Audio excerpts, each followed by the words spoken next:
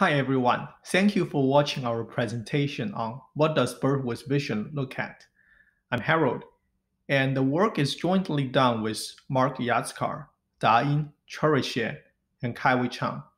A long version of this paper titled VisualBERT, a simple and performant baseline for vision and language, is on arXiv. Recently, a range of pre-trained vision and language models have established new results on various benchmarks. They are pre-trained on image captions using a mask and predict objective. Such pre-training has been shown to be beneficial for downstream tasks. For example, on the left side, during pre-training, the model might encounter such an image and is trained to predict that it is raining and people are walking with umbrellas.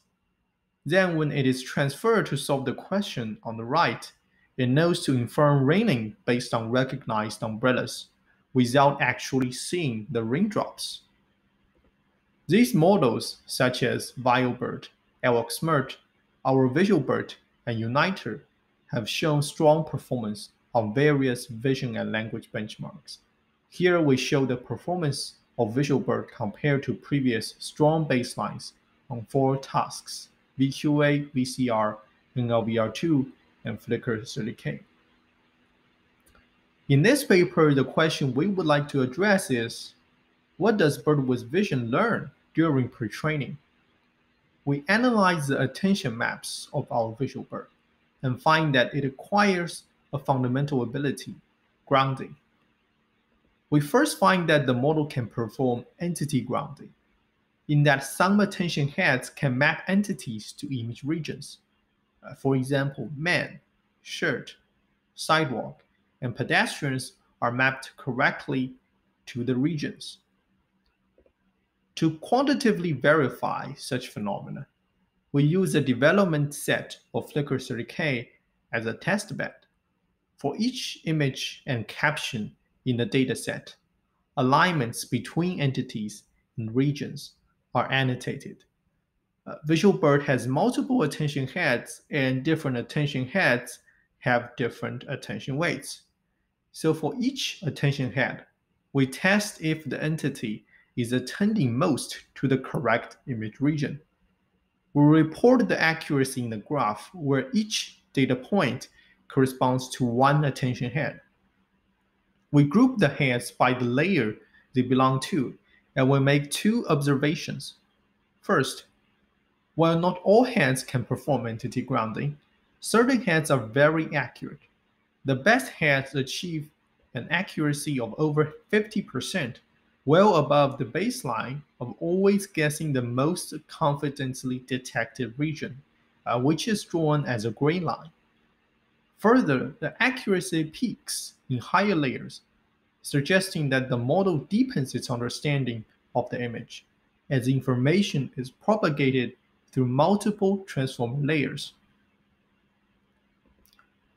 In addition to entity grounding, we find that non-entity words can attend to image regions. Uh, for example, wearing is attending to the man, which is its subject. On is attending to the sidewalk, which is its object. We call this behavior syntactic grounding.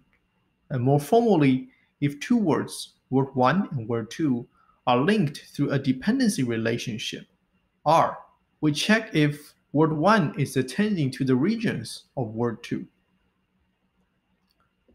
Uh, in this table, we list the most frequent dependency relationships and the most accurate attention head for identifying each relationship. We find that the attention heads are good at predicting syntactic relations between words and image regions exceeding a baseline of always guessing the most confidently detected region. Uh, further, different attention heads specialize in different relations, which is consistent with the behavior found in the attention heads of BERT. We also plot the syntactic grounding accuracy uh, of two dependency relationships of all attention heads. We observe a similar trend the accuracy peaks in higher layers. Here we showcase another example. we first find that the model is pretty accurate at grounding, mapping women, a white sweater, he's teased, by, and husband to the correct regions. Further, the model is refining its understanding over the layers. At layer 3, it mistakenly maps the word husband to the region of women. However, it gradually shifts its attention weights to the regions of the man through layer 4 to 11. This observation aligns with our conclusion from quantitative analysis. Finally, we discuss some related work. Our work is inspired by works on analyzing pre-trained language models, which reveal that they learn the classical NLP pipeline, such as POS, NER, SRL, and coref. Previous works in the domain of VQA have also shown qualitative examples of entity grounding.